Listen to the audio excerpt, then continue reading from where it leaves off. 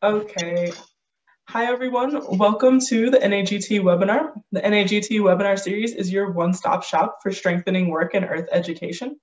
Webinars in the series feature novel and innovative work in Earth education research and pedagogy, uh, new teaching materials, and the classroom and professional experiences of people like you. The NAGT webinar series is free and open to the public, and we encourage you to invite your colleagues to attend and join the discussion. On the screen and linked in the chat is a link to the webinar series where you can find the webinar schedule, an archive of past events, and information on our sponsoring projects and programs. You can find slides, resources, and recordings of each webinar, including today's, through the webinar archives.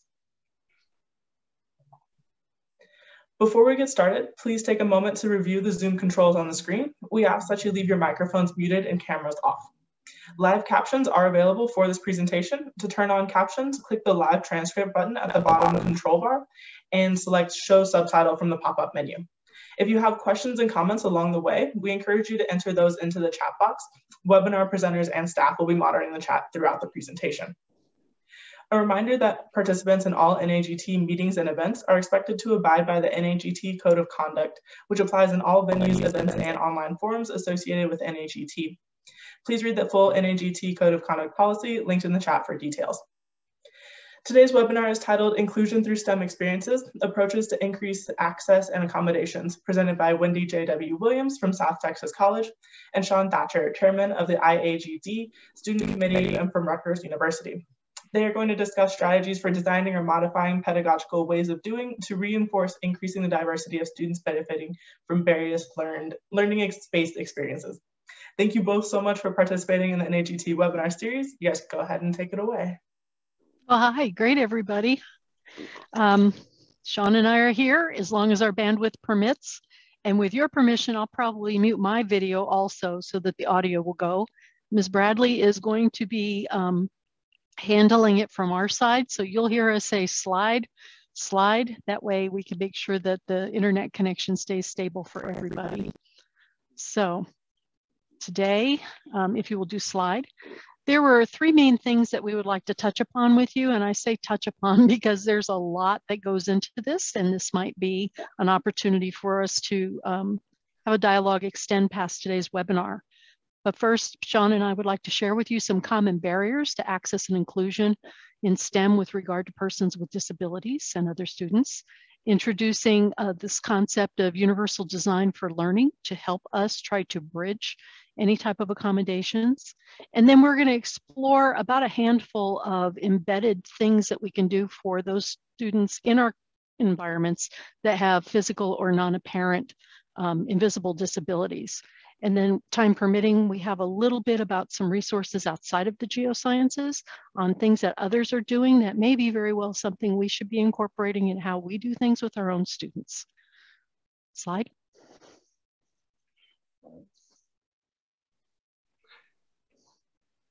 Hey everyone. Uh, so just a brief introduction of myself. My name is Sean Thatcher. I'm a I'm a GIS analyst and a geoscience educator. I focus mostly on remote sensing technologies and how they can be used to analyze coastal communities, especially regarding to climate resiliency.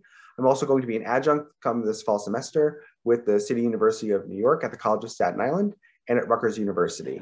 I'm also the chairman of the IAGD uh, student community, where we help provide opportunities to students uh, with uh, and without disabilities uh, and other aspects of marginalized groups to really break down those barriers of equal access. That way we can all participate in the geosciences equitably and equally and fairly. I am also an IAGD co-liaison for the AGI Inter-Society Diversity, Equity, Inclusion community to help address some of these challenges. I am also a quadriplegic. I suffered a spinal cord injury in 2009 and I'm a wheelchair user, um, but that's never really stopped me from doing as many things as I physically can, like taking the obligatory photo at the Grand Canyon. Next slide, please. And I'm Wendy. So my students know me as Dr. Wendy because our department at the um, South Texas College Community College uses our formal titles. But, uh, you know, I'm W cubed to me or mom to others. So what I've been doing for the last 25 years has been a blend of academia in community colleges and in four-year college university settings. I've worked for nonprofits as an education director uh, Field Nature Center. I love doing pre-service and in-service teacher facilitation.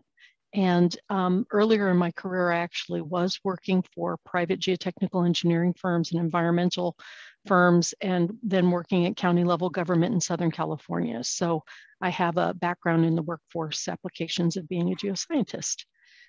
And along with um, Sean, uh, we are newly co-liaisons to a new committee called the AGI Intersociety Diversity, Equity, and Inclusion Committee, and we look forward to being able to contribute to broadening access and participation across all those member, member organizations. Slide. So uh, one, one of the societies that we mentioned was the International Association for Geoscience Diversity. So the IAGD, as it's more commonly known, is known as a 501c3 organization promoting equal access in the geosciences for all persons.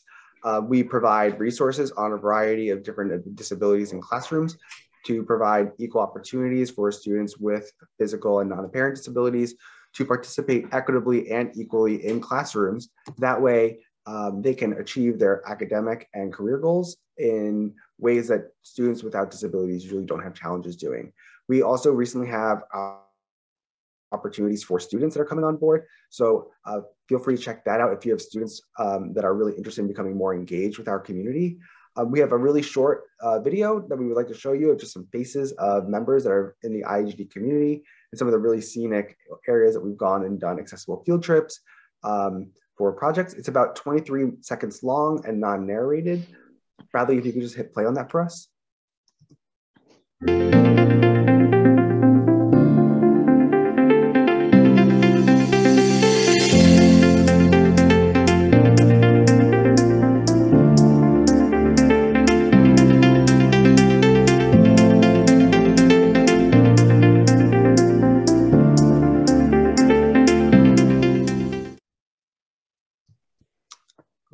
So uh, we've done a bunch of really great field opportunities uh, that are accessible field trips for all uh, in places such as um, Mount St. Helens, the Petrified Forest, and a bunch of other locations too. So if you have any interest in reaching out to us about those kinds of activities and opportunities, we'd love to talk about them at length.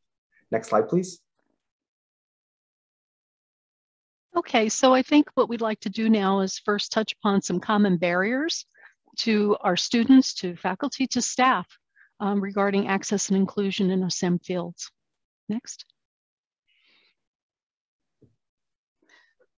So there's different ways of doing, using that as an educator term, you know, partic and using these different ways is important to try to diminish or get rid of, in an ideal world, barriers to learning and to support the success of our students in technical career fields.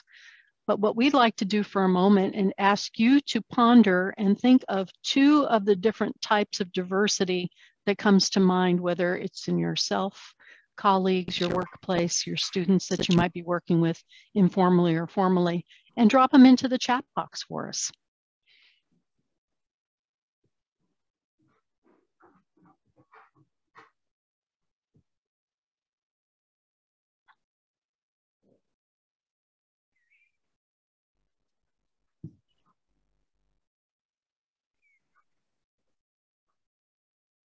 Yeah, these are great. You know, visual and auditory learners, neurodiversity, physical differences, age, you know, these personal experiences, you know, the lived experiences of how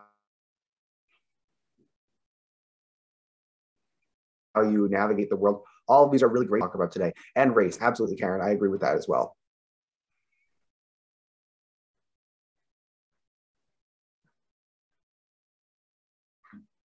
We have a lot of insight within this group. I'm, I'm glad to to observe that. Okay, next slide, please. Well, there looks like there's a lot of familiar things um, in the chat box to what's on this slide. So I, I, think that our audience is on, on point with these things, such as even learning preferences, degree of college readiness. I do work for a community college. I work with dual credit students as well as traditionally aged and capable students. And so there's a broad diversity that way. Okay, next slide, please.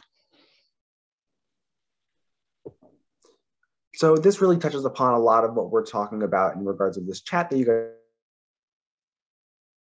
Sean, um, your audio is cutting out. I'm going to really greatly pointed out.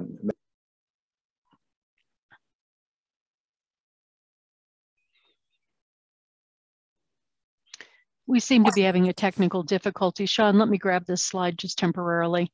So um, if you think about the things you dropped in the chat and that were some subcategories that were on the previous slide, and then we try to think about how we can group some of these challenging things, these potential barriers to students and faculty and staff, we are presenting uh, four categories for this one. You can have physical barriers um, that ends up in unequal access.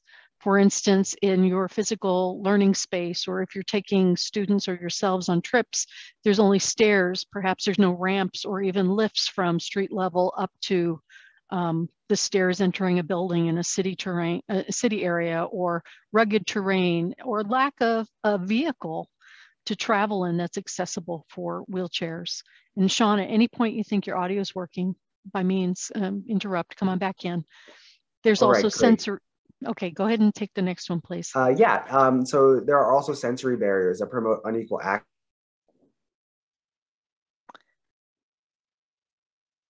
You know, so uh, media lack, lack, these are all barriers for individuals that are experiencing the world in different ways to be able to participate equally. And they very much so need to be included in the ways that we experience learning and the ways that we provide educational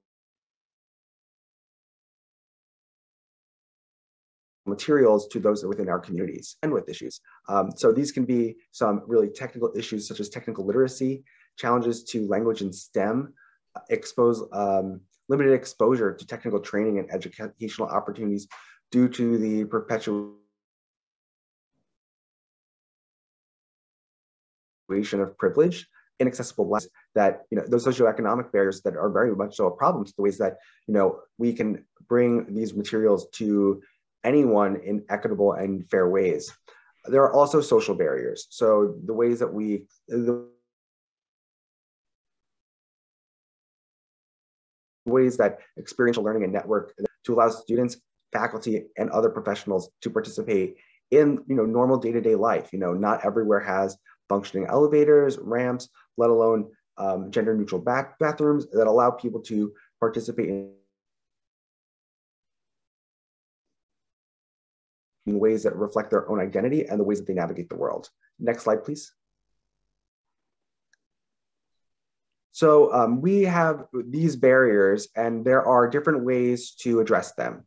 So there's the equality way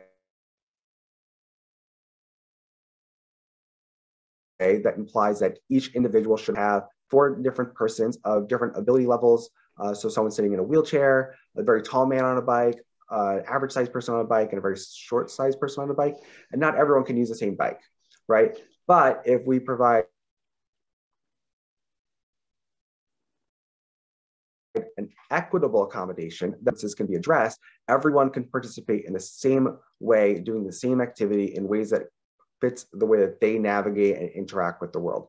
And that's exactly what we are trying to present here as ways that you know we can all participate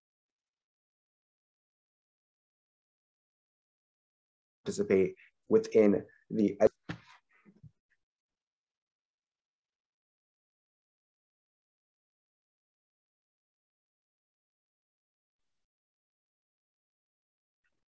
Okay, Sean, your audio seems to have fallen off.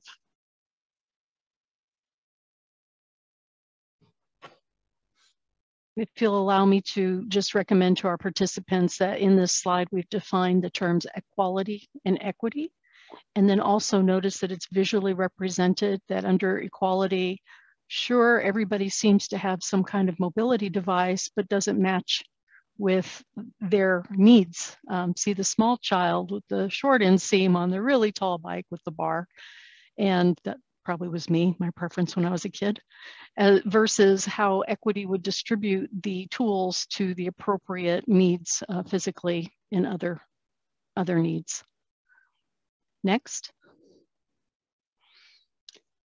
So we recognize that there are ample barriers um, to equity and equality and access, not only in STEM, but just in general. However, in terms of a learning space that we might be involved with K through um, college, are there ways that we can try to design in and diminish barriers upfront proactively, maybe initially retroactively in the things that we already do, but now to move forward by doing by design deliberately? Next. So one of the ways to do that would be to apply this idea, these uh, set of guidelines for universal design and learning and instruction. Um, Bradley, would you go ahead and launch this for us?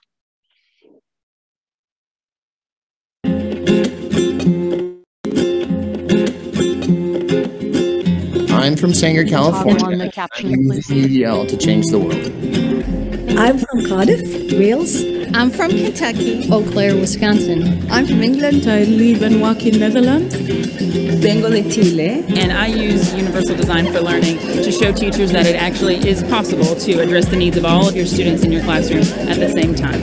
I use Universal Design for Learning to remove barriers and provide equitable, meaningful access to all students. I'm from Molalla, Oregon. Kingston, Ontario. Williamsburg, Virginia. And I'm using UDL to be a more reflective practitioner. For overthrowing barriers to my students. To make spaces for language learners. So that all students have access to high levels of learning. UDL is for everybody, for all students across the world.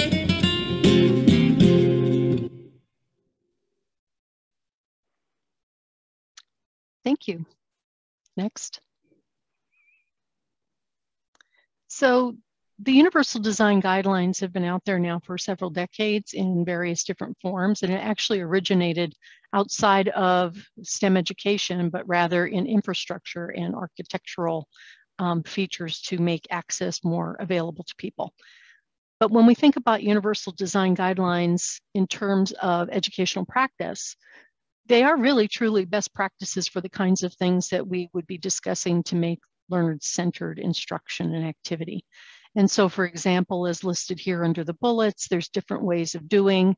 Um, if we're in person in a hybrid situation, and also variations on a theme in a completely online situation as the case arises, that you have visual and auditory media, tactile media, that there are appropriate interpersonal strategies, learning space management ideas to use with your learners and whatever group of learners you have in that particular time frame.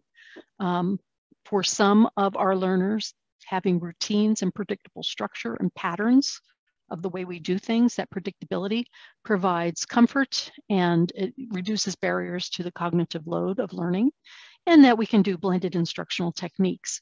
But a big thing to remember is that one person's appropriate, like accommodation, may be another person's barrier. So that keeps us working hard. Next. There are a couple groups that are very active in the United States on promoting and advocating for universal design and instruction and variations referred to as inclusive instruction. And one of them is Dr. Burgstahler, who is affiliated with the University of Washington. And we'll see their link in just a moment. But I pulled a quote from online, but there's also um, expansion upon this in some of the books that she has published and that are available. And it's not just about education, actually, in the sense that it's direct with the students. Universal design of education and of learning really should go for all of the stakeholders involved, and that there is more inclusion not only for the students, but the staff, instructors, administrators, administrators, I know I repeated that, and visitors um, that come to us with a variety of diversity, and um, we want to incorporate that into our classrooms. Next. So you're talking to a geosciences educator, and um, I have found these particular items that are displayed on the, the slide, and I'll auditorize in just a moment, especially useful. Now, I did early on in my career, back in the early 2000s, um, have an opportunity to do some training through CAST um, on behalf of the university that I was employed with. my school, University of Arkansas Little Rock, had received a large federal grant from the U.S. Department of Education. And the grant to our Office of Disabilities was to train various faculty and departments across the campus in universal design. This was in the early 2000s. And some of what we did was part of um, CAST.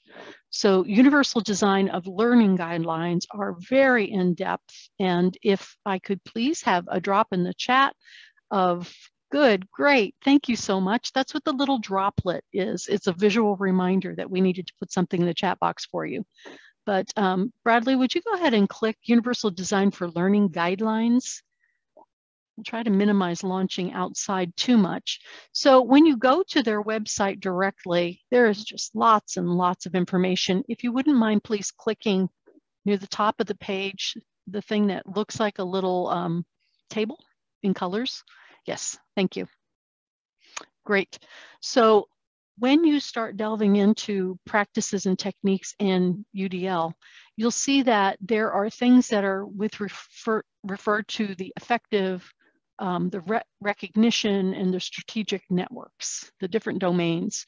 And at each of those places in their guide, you can click to get more information on strategies to do it face-to-face, -face, hybrid, or online formats. Um, some of them cross-cut the modality that you might actually be working with, say, um, students in that case. I don't think everybody in our um, webinar today as participants are directly working with students, but in support of and through products. So I wanted to bring this to your attention um, to encourage you to look at more in depth at the resources that are there for some strategies. There are low stakes strategies. There are those things that are higher stakes um, in terms of helping raise scores if that's what your administration is interested in, and also different ways to um, collaborate with other educators on these, these activities. So if we could back out of this screen, please. Great. And then the second drop that was in your chat box, if we can click on that, please, DO-IT disabilities, opportunities. This is to show you that we've launched their website, and this is one that um, Sheryl Burgstahler and others have been working on now for quite a while. And there are just many different places to go to, but it is at this website here broken out to guide you if you're an educator directly or if you're a student looking for opportunities. And then some of the other diverse categories that we had talked about earlier in this presentation, for example, for veterans. Um, there's a lot of intersectionality between the different populations that we work with. And for many of those populations, it also includes persons with and without disabilities. And so um, I thought perhaps you would appreciate these resources. These are the ones that are more specific to STEM. And although we're not going to launch their STEM access site, I encourage you when you're offline and later after this webinar, not immediately, but soon after, these resources will be available, available for you and archived at the uh, professional webinar location for this, this talk. If you can back up, please.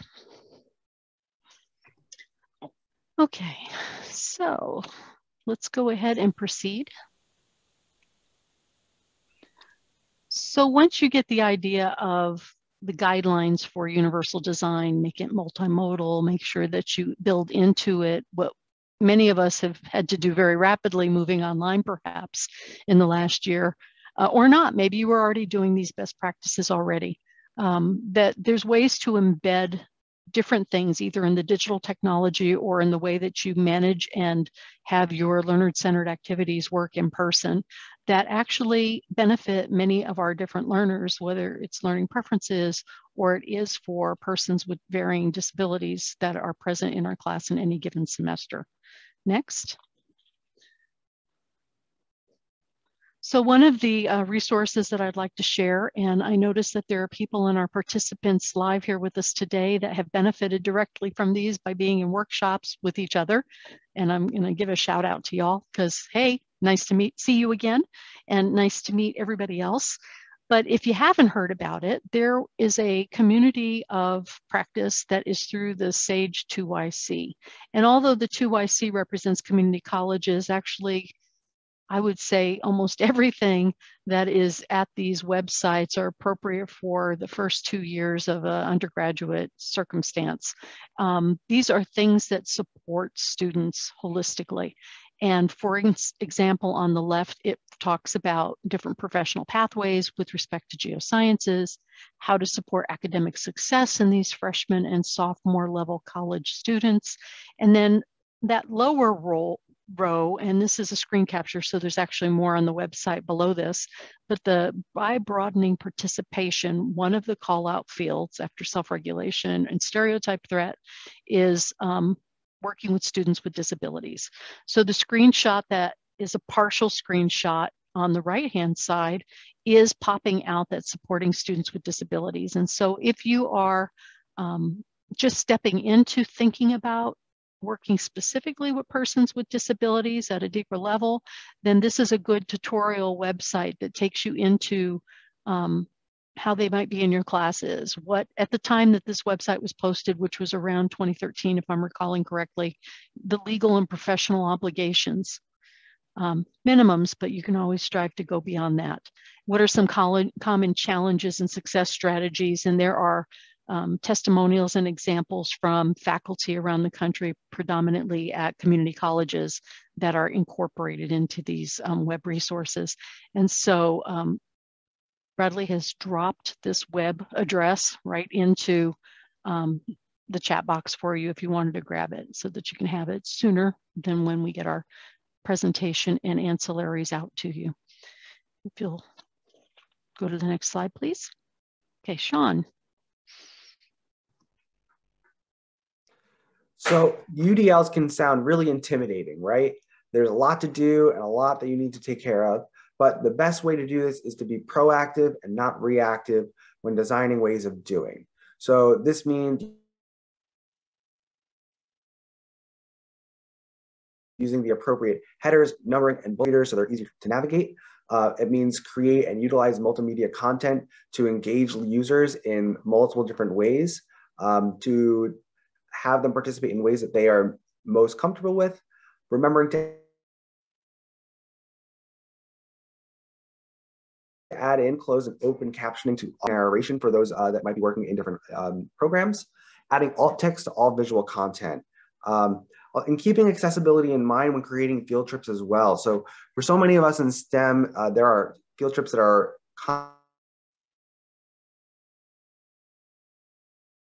constantly there, and not just in geosciences, field I can imagine.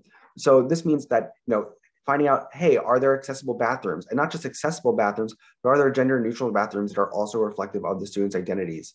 Are there curb cuts at the locations that you're going to? Are there ramps so people can access the building? Not only centered on wheelchairs, but sometimes people with mobility issues have very difficult times walking far distances what's the weather going to be like? You know, you don't really know how uh, well people are familiar with the climate in an area, especially if they're going on a trip.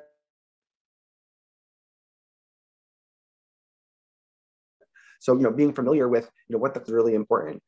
Activity descriptions and evaluations. Knowing how your students um, are going to be critiqued and graded um, gives you a really clear idea on how to present material, but it also reduces the anxiety that they feel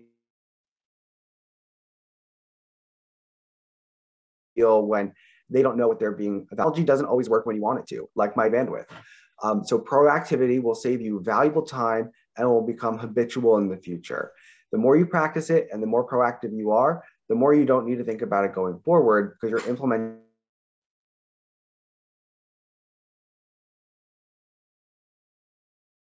materials used in them and then interacting with students going forward. Next slide, please. Um, actually, I'd like to make a comment. Don't have to go back in the slide, but there was one comment about weather. You know, when we have, for instance, intro students that may or may not be majors with us, they might not realize that if you're a geoscientist, often you go out in pretty much all kind of weather. And so that can be very um, disconcerting to somebody. But a personal note from when I was teaching at Northwest Arkansas Community College, which is in the Ozarks, so we are in a, a karst terrain. I had a young man that he and his family are depicted in the photograph that we used for advertising this inclusion website. Maybe you've, or a web webinar, perhaps you saw this when you're at the NAGT site to register. And it's a view um, through a tunnel and it's from the back and there's lighting at the end of the tunnel coming through the tunnel and it's lighting up not only this young man in his wheelchair, but a family member is assisting him with his mobility of that chair in this uneven but not totally inaccessible um, tunnel terrain. And then also his young nephew was skipping along the side as we were going to our next inclusive geology field stop. But I mentioned it because it was the weather at the ground level and above that was problematic for him. It was a summer class.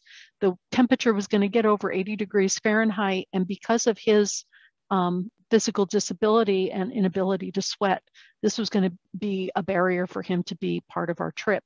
And so knowing that in advance, I was able to work with a local commercial caving group and they gave us special permission to do the second half of our trip underground and where it was a nice warm 55 degrees Fahrenheit. I'm saying that sarcastically, I'm still a little chilly at the thought of it, um, but it was perfect for him. And we were able to not only extend what the geology content was that we could cover, but we were able to make everybody comfortable in the learning environment. So thank you for letting me add to that slide, Sean. Here is a slide that says another way um, you can embed different kinds of accessibility is to think in terms like many of us are online right now. So an organization called Respectability has a guide for you that is hyperlinked that will take you on how to ensure virtual events are accessible to all. Part of it, of course, is making sure that you have the other things that we've talked about that all of us have been um, experiencing over the last several months in our online environment about alt tags and sound and transcripts, but also in terms of lengths of meetings, realizing that bandwidth may not be behaving itself. Um, so I encourage you to go to that link when you have our document. The other thing is when we are um, mostly back together, and maybe some of you are already, think about the setting that your learning space is. And if you don't have fixed furniture, or if you can um, try to petition not to have fixed furniture in the room, that there are certain more optimized ways to set up a classroom, say to facilitate a person who is deaf of hard of hearing to have line of sight view of the faculty member or the faces and reactions of other students in the room. And by positioning perhaps in a U shape, the chairs and the projection is going to the screen and it's not blocked by other furniture or the faculty member themselves, that you can maximize the opportunity for the student to either hear with hearing aids or a C loop built into the classroom, but also to be able to lip read if necessary. Um, one thing that's not on here is if you have a darkened room during your activity, you should have some type of lighting so that your lips are visible to the student that might be lip reading. So um, that is an example of thinking about how physical learning spaces can be configured under your control. Next. Another thing that you can embed into your learning environment is that you may find that any given semester or term that you have a student that is deaf or hard of hearing, that part of their accommodation um, and access is through having an interpreter. Um, if we're, if you're in the United States, that would be the American Sign Language interpreters. And I wanted to draw your attention that there are some newer types of um, things available to us online. For instance, through the Rochester Institute of Technology, there is a science signs lexicon site that is being developed and they're adding to it. And so if for a second, let's see, you went ahead and dropped the drop, thank you so much. Um, it is not fully comprehensive for all of the science content, but you can go to that website you can search by the alphabet letter for the word, the term that you want to use, and there will be um, image of an American Sign Language doing that term rather than spelling it out with finger spelling, for instance. And the image that is to the bottom that um, when these archived materials are available, the hyperlinks are available to it there. Also affiliated with RIT through the is a project that's called ASL Core. And it celebrates both American Sign Language and also deaf culture. And it has uh, resources there regarding deaf culture. And the screen capture that I provided in the lower right-hand side just shows some of the areas that they do have sign language, whether it is an established sign for a particular scientific object or concept, and or how to finger spell it.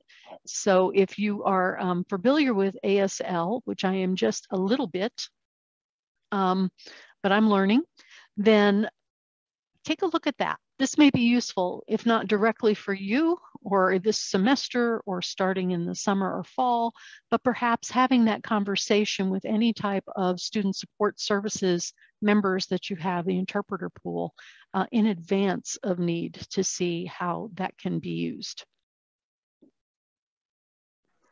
And then um, there was a new article link at the bottom. I was just looking over at the chat box and if you don't mind, um, Ashley, we'll have a time a little later on and I'd like to come back to what you're asking, okay?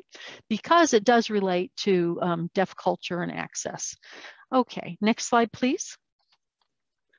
All right, well, um, there are a number of students in our population, number of staffers and faculty members or people who are working elsewhere in STEM fields that actually have color vision deficiency also known as color blindness earlier.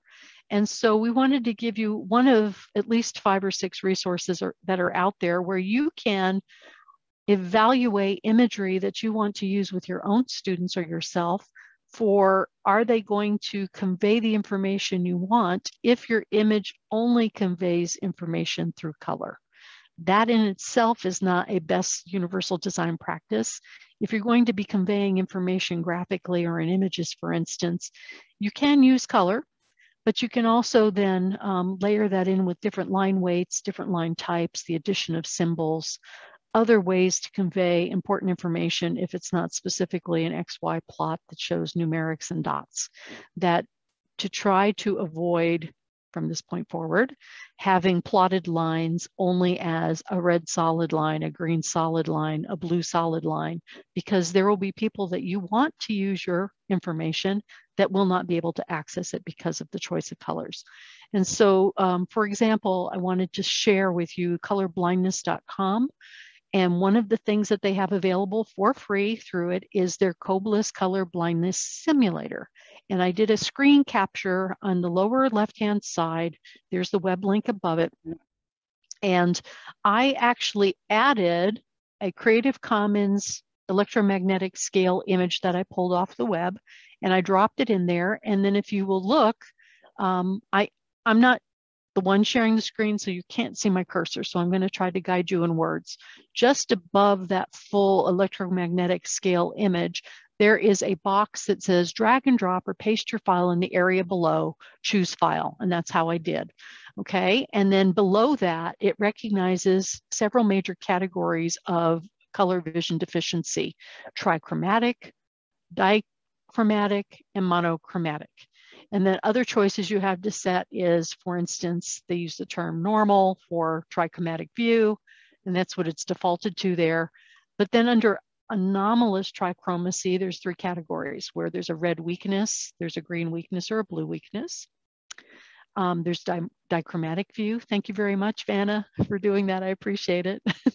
Just a, a, shout out to, uh, what is that, where they turn the letters. Thank you for doing the arrows. Under dichromatic view, there's a red blindness, protanopia. There's a green blindness, deuteranopia, and blue blindness, trinopia. And then to the far right is versions of monochromatic view. And then in this simulator, you can choose lenses, meaning a clear glass lens, no lens on your eye.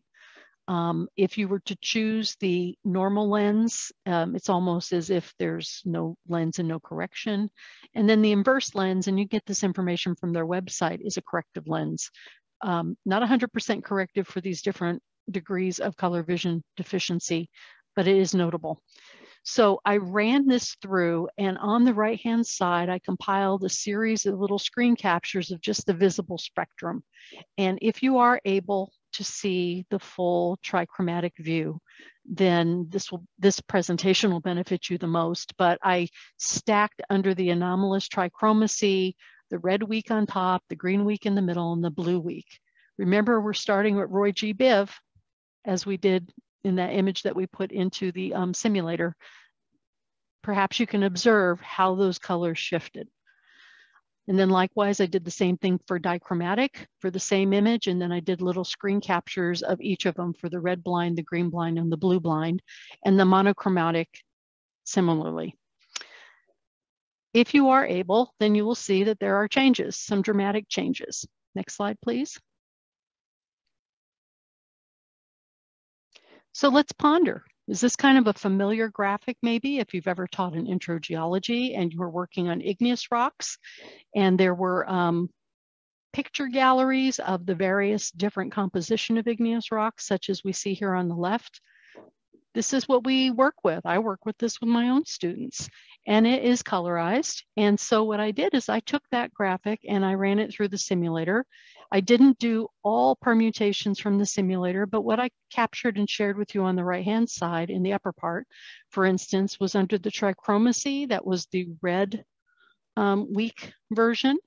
Under, and the next pair below that was under the, I don't have the, the previous slide in front of me, my brain is forgetting the other middle version, the dichromacy. And then um, that was also the red red blind version. And then um, over a monochromatic, I did just the plain straight monochromatic so that you can see that if you have a person with color vision deficiency, maybe they may or may not know that they have it um, until something is a key indicator to them that they do.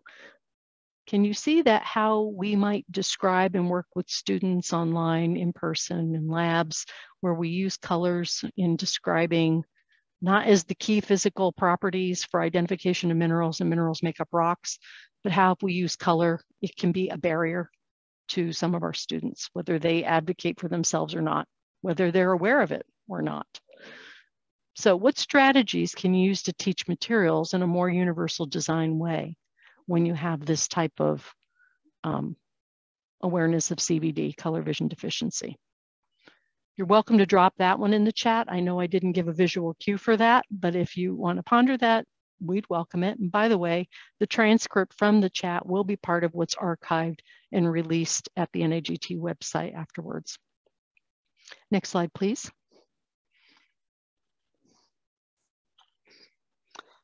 Um, very quickly, I would like to share with you that there are a lot of folks that are either adopting um, materials out there that are softwares or applications for cell phones, smartphones, all the way through computers, or they might be in the situation where they are doing science education research and they're trying to develop similar tools of software and app delivery for education technology.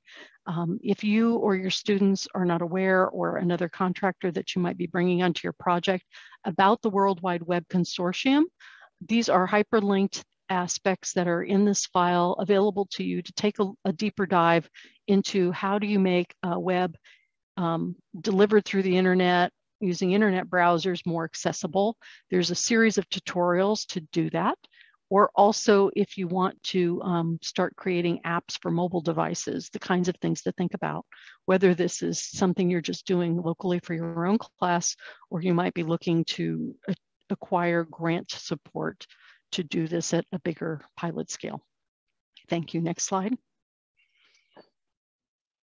One of the things that's making universal design in online modes through course management systems or learning management systems, um, making UDL a little easier to do these days, didn't have this 10 years ago or earlier than that, um, is that this recognition of really we need to be doing ADA compliance in our softwares.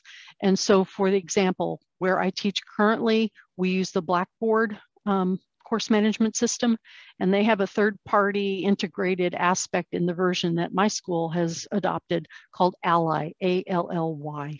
And so what I'm trying to depict on this slide is on the left-hand side, there's a small screen capture from within my Blackboard module for my students on mineral content. And one of the things I provide them is a file presentation and study tool. But just to the left of that is an icon with a capital A and a downward pointing arrow. And when you click on that, you get a menu pop up. And that's what I did a screen capture on the right side to share with you. And this ally will allow students to then select if they need an alternative format It may or may not because of a disability needing access, but it may because of a preference to be able to not be on a full computer, but rather bring the content to study down onto their smartphone, their mobile device, for instance.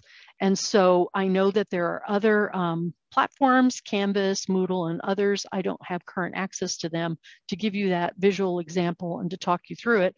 But I encourage you to take a look in the products that you might be using to see how accessible they are. Okay, next slide. Okay, Sean. So uh, there are a lot of synchronous and asynchronous learning opportunities um, that we've all been engaging with with the onset of the pandemic. And new strategies have been implemented using UDL to promote learning and virtual experiences. So um, creating a remote learning experience should really use a combination of synchronous and asynchronous learning strategies. So for synchronous, provide it really provides the social interaction to encourage peer learning peers. At the undergraduate level and at the graduate level, those networking opportunities are essential to having an enriching educational experience. The asynchronous opportunity uh, opportunities with remote teaching allow students to learn ways that promotes independence and information. And this allows students to really engage with materials in unique and novel ways, allowing them to be able to rewind recorded lectures to really get the most out of them, uh, to really enhance the way that they engage with this content. To um, remote learning has leveled the playing field in a lot of unique ways. Um, everyone can no longer access the physical locations that they used to work at. Work at. So, you know, field trips, field camps, and lab work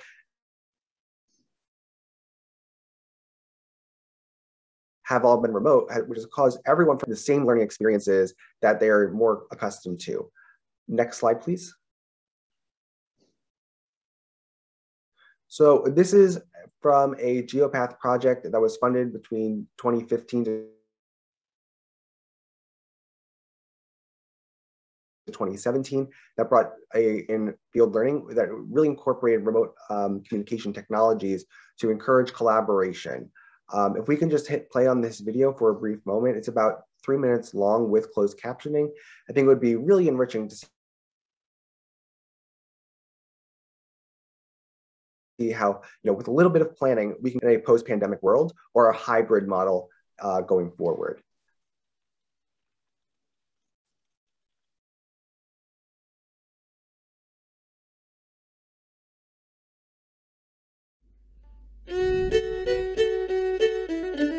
Remote collaboration uses teamwork and technology to enable students in different locations to collaborate on learning activities in the field.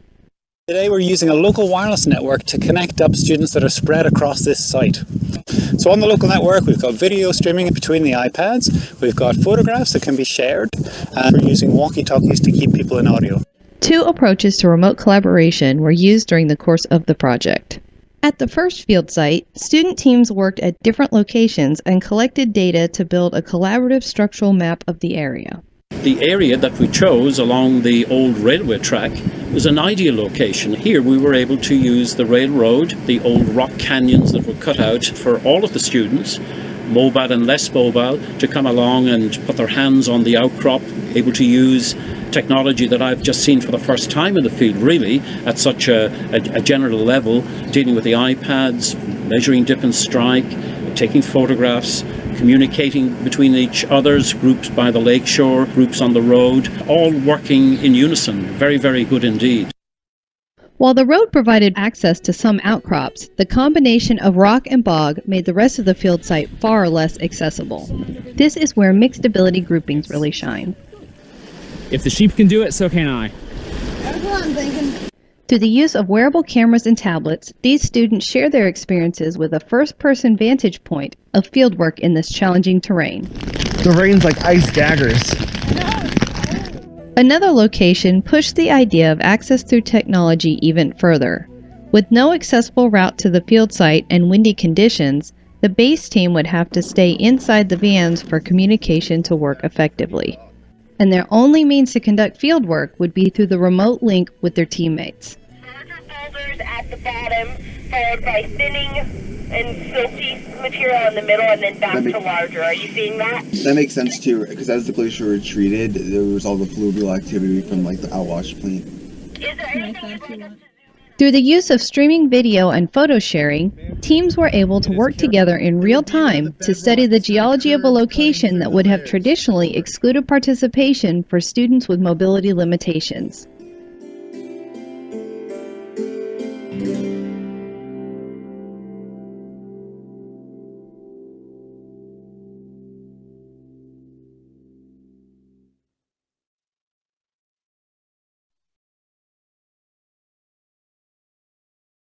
Great. So if you could just throw in the chat most intriguing possible for setting and uh, for um, and briefly setting of why of you know so what are ways that you can incorporate these kinds of things into um, ways to really dismantle these barriers uh, um, in your own educational endeavors. Yeah, even in my own experience, uh, Jackie, mixability groupings are a phenomenal way that have really helped me overcome a lot of physical barriers personally. And a lot of others that have very similar challenges like me as well. Uh, next slide, please. So there is a slippery slope with the virtual experiences as becoming the new museum option. Um,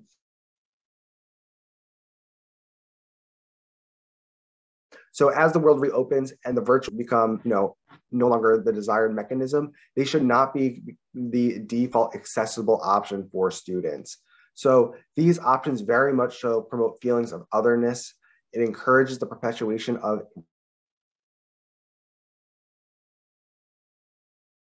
ableist and racial stereotypes that are available to these students, along with the employment opportunities specifically concerning if they are missing activities like field camps. And and causes them to actually just leave STEM fields in general. Um, and in short, just ableism really quickly is the discrimination based on the belief that typical abilities are superior and more desired than those with physical limitations.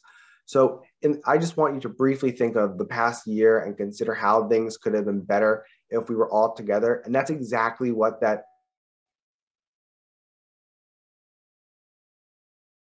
virtual or museum option only will be. You can just do this instead alone by yourself. You know, everyone mental health right now is a really big topic as it should be. And this is one of those that we really need to take a good hard look at to see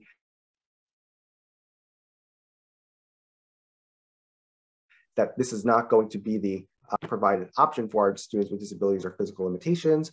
But you know, really provide if provide a way that if it's not the option for all students, then it shouldn't just be the only option for students with limitations as well. Next slide, please.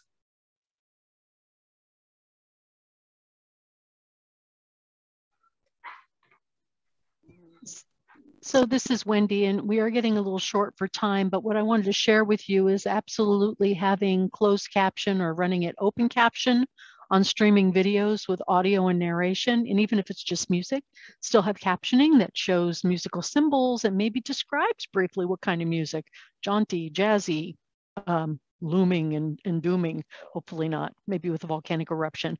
But one of the better practices is adding scene narration or audio description, which is another layer of audio that is quietly trying not to overlap on the regular narration, but trying to describe briefly what's in the scene so that persons without vision can actually know, is this a group of people doing sign language, like the little embedded image there? If we could please, Bradley, just run it for about a minute and everybody listen because there's different levels of audio going on. Writing's not that easy, but Grammarly can help. This sentence is grammatically correct.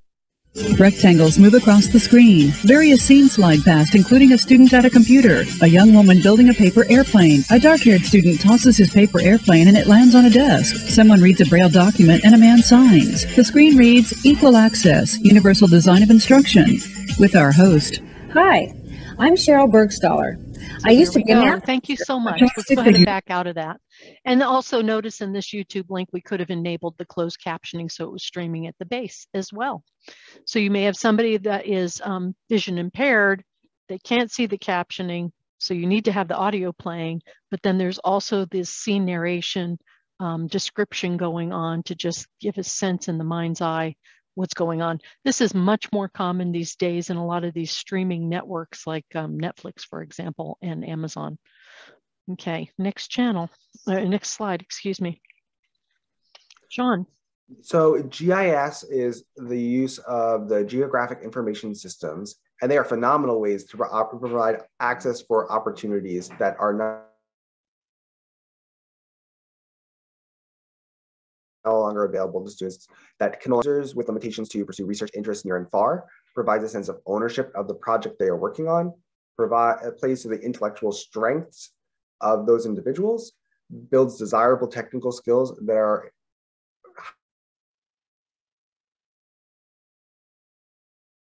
highly desired in the workplace growing within our fields. Limitations to this are that it's visual in nature, there's a cost and technical expertise that is required, and the lack of access. Not every university has access to some of these commercial technologies.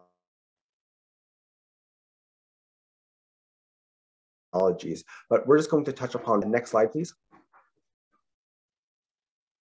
So everyone is very familiar with there's a, low, a lot of low-tech options and high-tech options concerning GIS.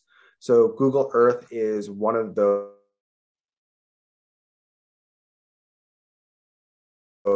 um, that everyone is very familiar. General audience and general public at large can use them very quickly. Um, the desktop version of Google Earth Pro can allow for image interpretation, basic digitization, and mapping, along with annotations. And story maps can be easily created along with exploratory field trips using Google Tours. However, there are available that allow for geospatial analysis, such as Google Earth Engine and QGIS that are open source, along with the commercial options such as ArcGIS. Um, these allow these have a moderate understanding of mathematics and programming, advanced image analysis, editing, interpretations, scientists. Um, although although there is the coding aspect in some of these, um, I firmly believe that there are options for all that can be doing this, Google Earth Engine also is applicable with screen readers for those to navigate the screen navigate those, as we mentioned before, you can really overcome those barriers and challenges to the visual interpretations if those become issues. Uh, next slide, please. So using uh, GIS with UDL, you have color vision deficiency um, and are working in mixed ability groups. So drought analysis is really common practice um, in GIS that's very introductory. Using Earth Engine specifically, we brought in NOAA's PERSIANN models that, that um, measures uh, number of days census that is hyperspectral imagery that incorporates wavelengths of light as bands that we cannot see with our normal eyes to conduct a normalized difference of vegetation index called an NDVI. Uh, it's, it's typically really frustrating for those with color vision deficiency to look at because we did this and uh, we went from a red to green color scale to show how quickly it can be implemented in a grayscale. And there are numerous options for resources in a variety of formats that are perfect for UDL, such as very effective document implementation, tutorial videos that, that they So the next two slides just have the uh, red to green color scale for this type of analysis over California. Right, and it's like, and it can even hurt your eyes even if you don't have color vision deficiency, it's just very glaring to another issue. But if you look at the next slide, we all we did was quickly change the color scale and now it's on a red, now it's on a grayscale. All of this can be done free of charge using uh, Earth Engine servers. That way, there's no extra processing on your own code. They're doing concerning uh, geospatial analysis. and and all of the JavaScript here can be done can be learned using Codecademy, and can be used also learned using open source opportunities through. Uh, uh, Google Earth Engine specifically. Next slide, please. And Sean, we are down to the wire. Yes.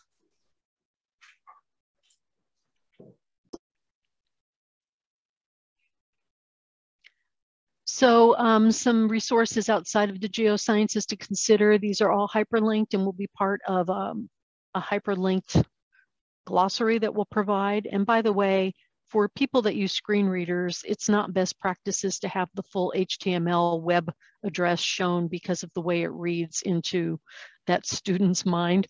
And so there are suggestions to use it this way.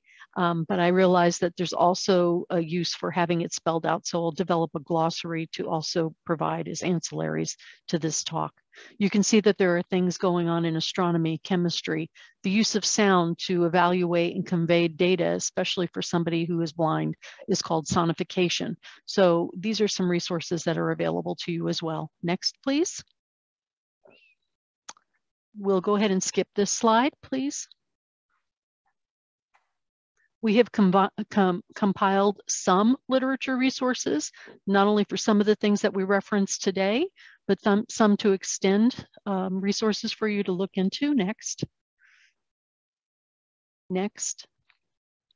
And we both, if Sean wants to come off of mute, want to thank you so much for being with us today. Here is our email um, addresses if you would like to contact us. Just do a favor and please remind me and Sean how we met. And we met through an NAGT professional webinar. Thank you. Yes, thank you everyone so much. Awesome. Thank you guys so much for your presentation and for taking the time. Um, and thank everyone for coming to the presentation and spending our time with us. Um,